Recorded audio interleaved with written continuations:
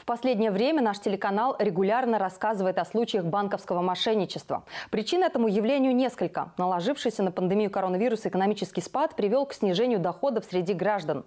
Кого-то это подталкивает на совершение махинаций с целью наживы. Поэтому неудивительно, что на этом фоне активизировались аферисты.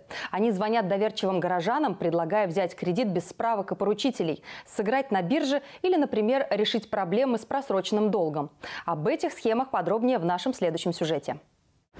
Число случаев банковского мошенничества на территории Тверской области в последние месяцы заметно увеличилось. Об этом свидетельствуют данные специалистов Банка России. Рост активности нелегальных кредиторов и других мошенников эксперты регулятора связывают с нестабильной экономической обстановкой. Один из наиболее популярных методов обмана сводится к следующему. Аферисты заманивают потенциальных клиентов и предлагают им деньги в кредит без справок и поручительств, но под сильно завышенные проценты.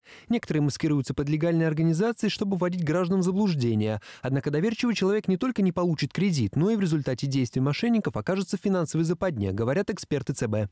Они могут создать условия невозможности своевременной оплаты по кредиту, после чего они могут приступить в агрессивной достаточно манере получения возврата средств, вплоть до того, чтобы, скажем так, как в стиле 90-х годов, до отжимания имущества граждан. Большую опасность для доверчивых граждан представляют и так называемые нелегальные форекс-дилеры. Навязчивой рекламы в интернете они предлагают гражданам сыграть на скачках валютных курсов и получить внушительный доход. Мошенники предлагают пройти обучение игре на бирже, либо освоить профессию трейдера. Подходят к обману со всей обстоятельностью, создают программы, имитирующие показатели рынка с динамичными графиками и таблицами. Жертвы таких мошенников долгое время находятся в заблуждении, считая, что они действительно играют на рынке, продолжая отдавать средства за обучение. Когда приступают к реальной торговле, мошенники могут, во-первых, просто раствориться его денежными средствами, либо, опять же, сделать такие условия, что человек их проиграет и будет должен мошенникам. Активизировались также и раздолжнители. Это компании или частные лица, которые предлагают решить проблемы с просроченным просроченным долгом.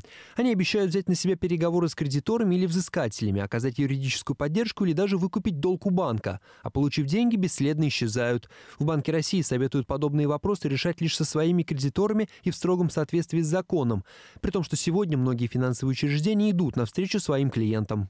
С учетом снижения доходов населения, э, банки э, самостоятельно в основном э, предлагают свои кредитные программы, программы реструктуризации, перенос срока платежей, изменение графика погашения задолженности. В Центробанке гражданам напоминают, перед тем, как доверять свои деньги каким-либо предприимчивым финансистам, лучше всего проверить их легальность через интернет. На сайте Банка России существует возможность уточнить, есть ли у финансовой организации лицензия, занесена ли она в реестр регулятора. Кроме того, важно обращаться обращать внимание на предложение по доходности привлекаемых средств. Если она значительно превышает предложение банков, то высока вероятность потери таких инвестиций. Соблюдение этих простых правил поможет вам сохранить свои сбережения и нервы.